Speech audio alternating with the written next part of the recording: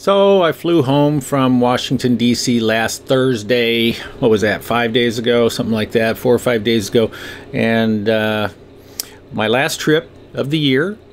And of course, once again, I successfully uh, passed to qualify for the highest level uh, on American Airlines uh, frequent prisoner program, so I've got that going for me this year. But be that as it may, I'm home for right now. I'm home now for about a month before I hit the road again uh, in January.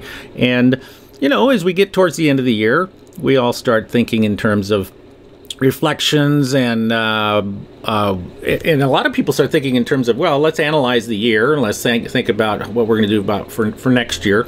You know we get into the personal resolutions we get into business uh, uh planning uh, for those of us that are on the calendar year uh, and and that type of stuff. And it occurred to me that, that I, I started thinking okay so if I if I went to look at at my year and I did kind of a self-assessment what would be the questions that I would ask myself for this year?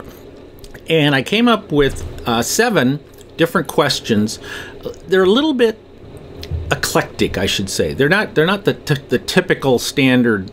Um, uh, personal self-assessment uh, or personal evaluation type of type of stuff, and this this this is going to be about personal uh, self-assessment. Personal self-assessment. That's that makes perfect sense, right? And uh, and then I think next week what I'll do is I'll talk about business assessment for the year. But anyway, I came up with seven questions, and I I. Uh, uh, I have to be perfectly perfectly honest. Um, I answered the questions for myself, and not completely satisfied with all of my answers.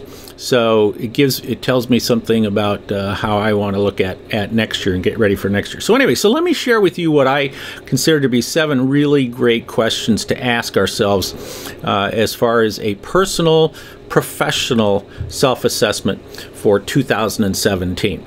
Question number one. How many business books did you read this year? Now, this is important. For those of us that are in business, uh, uh, you know, you just can't stop reading books. Books are so important to us. And regardless of whether we think the internet uh, and we're getting information from all, all over the place, and some people will say, oh, well, books are dead. No, books are not dead. Books are a fabulous resource of information that will that can you know by reading a book uh, it makes you think. It makes you pay attention to how an author or authors uh, are looking at uh, business or looking at personal growth or anything like that. Now, you notice I said business book. I didn't say just some kind of fiction book or anything like that. How many business books did you read this year? Now, I only read 19 books this year. For me, that's not very good. Okay, typically I would read closer to 40 books a year. Uh, but somehow I got away from it, I got busy, and I gave myself permission to, to not read. I have to fix that next year. Now, question 1A, question number one is how many business books did you read this year? Question 1A is what is the, what was the best business book that you did read this year? And I would say that without question the best book I read uh, this year was this one, Thinking Fast and Slow by Daniel Kahneman.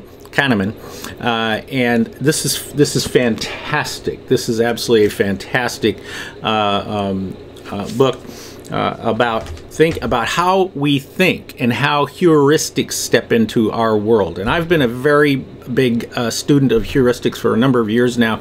Uh, I think it's really, really important for those of us in business, especially, uh, to learn more about this because it helps us to understand how people think. And, and that we don't think like our customers, we don't think like our prospects, uh, but it helps us to, to uh, understand how people think. So I think that was that was a big one.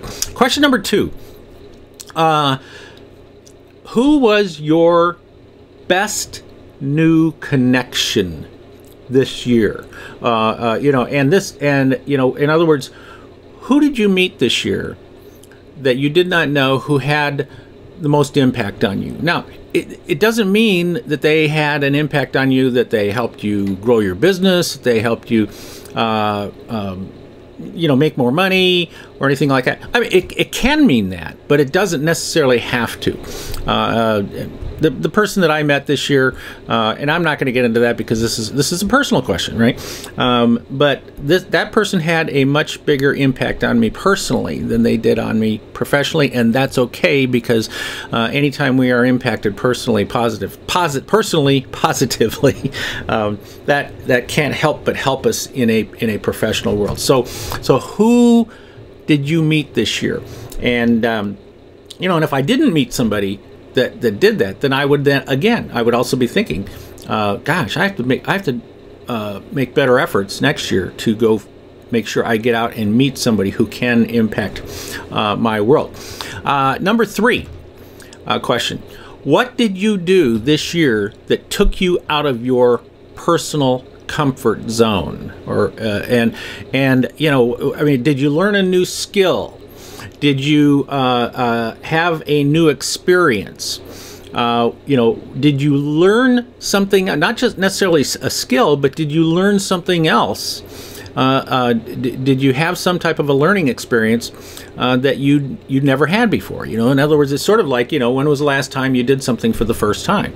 Um, a lot of us just get stuck in our comfort zones. We get stuck in that little narrow window of our of our world and uh, and it's all well and good to get better at what you are already doing, but in order to stretch our comfort zones, we have to do new things. We have to do we have to do things that take us out of our comfort zone. Uh, for example, uh, what took me out of way out of my comfort zone this year was uh, my wife and I took a two week road trip uh, down the coast. I mean, down from Seattle down to San Diego to visit our daughter and, and back up again. We used to take road trips when I was a little kid, okay, but that was mom and dad doing the driving and things like that. So this year, this this was a this was completely out of my comfort zone because uh, uh, Kay and I had never done that before. So that was a real experience, a real eye opener for me about about getting back on the road again and and just you know seeing seeing stuff, seeing uh, uh the U.S. from the front from the windshield uh, of the car. So that was that was a pretty big deal for us. Um, question number four, and this is a rating question on a scale of one to seven. How would you rate yourself for 2017? How would you rate? How would you rate yourself? Just overall, looking back 2017, how would what kind of a score would you give yourself? Um, I'm going to give myself a 5.5. Okay, I, I, think I had a pretty good. It, it, it was a pretty good year quite frankly. It was a pretty good year, uh, uh, and and especially because of the the uh, publication of my of my my latest book, right? You know, right here, right here, my latest book, and uh, which you guys all know about, and certainly you should all have. Um, by the way, we are up to 48 five star reviews on Amazon. I am so uh, blown away by that. It's it's it's amazing. So. Um, uh, so I would rate myself at, at, at a 5.5. Sure, that gives me a lot of room for improvement, a lot of room for growth. Uh, in, in, in the future. And then question number six follows right up on it is how would others rate you for this year uh, uh, on a scale of one to seven? And, and I'm saying seven being highest, right? On a scale of one to seven, how would others rate you? And I would say that others would rate me lower than I would rate myself. Uh, um, I would say that at best I would get probably a 5.0, and part of that is because uh, is, is is because I am a um, uh, it leads into the last question, uh, but I have learned I've learned more and more about myself as being uh, uh, an introvert. Uh, uh, yeah, it's true. Those of you that don't believe it, but it, it's true.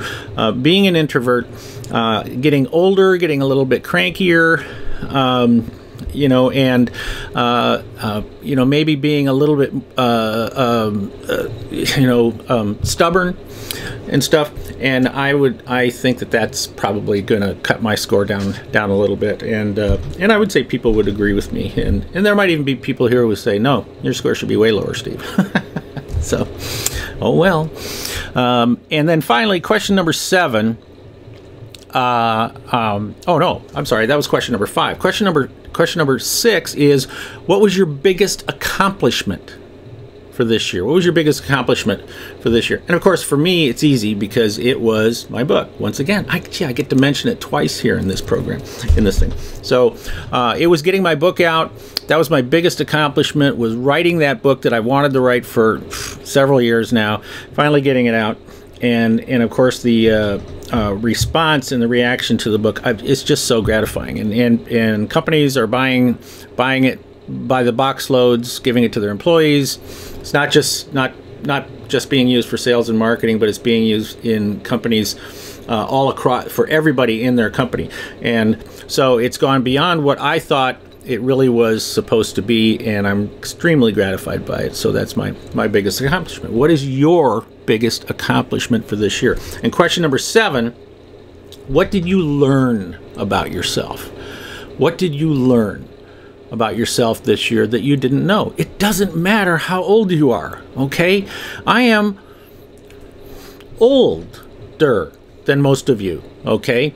And uh, you know, and just you know, just let's just put it this way, okay? I I I was there in the '60s, okay? Let's just say I was, you know, in college in the '60s. So so you know that makes that makes me old, but what did I learn? Well, I actually, you know, what I, what I was just referring to earlier is this idea that, that, you know, maybe I'm a little bit more stubborn, but, but, but, but the point, but, but really what I learned about myself is that I'm much more of a misfit than I always realized, that I actually realized over the years. I always sort of thought of myself as a misfit, but now I think that they're actually, I, I actually think that I've got some, you know, some misfiring going on up here. I shouldn't say misfiring, they just fire differently than other people. So uh, I see the world differently, and and it's not really so much a, a, question of choice as much as it is that that I that's just the way I am. Okay, so you see, I've learned that about myself this year, and it's going to help me to be a better person uh, next year. So you know, how many books did you read? Read more. How many books did you read? All right. What was your uh, one A? You know, you might say, well, that's eight questions. Well, okay, but but question one A is, what was the best book that you read this year? And by the way, please share that with us in the comments below. Please share what was the best book that you ever that you read this year, um, because I will be very interested, and uh, you will probably you, you, may in fact impact my reading list uh, coming up here too. Um, you know, number two, what was your, what, who was your best connection? Who had the biggest impact on you? Number three, what did you do that took you out of your comfort zone this year? Uh, number four, how would you rate yourself on a scale of one to seven, seven being highest? How do you think others would rate you on a scale of one to seven? Uh, uh is number five. Number six is what was your biggest accomplishment this year? And then number seven uh, is what did you learn about yourself? So a little bit different type of personal self-assessment, uh, but uh, um, but I think that if you answer those questions, you're gonna you're gonna have a pretty good idea of how your year went. So anyway, this is Steve Miller, better known as Kelly's dad and marketing gunslinger.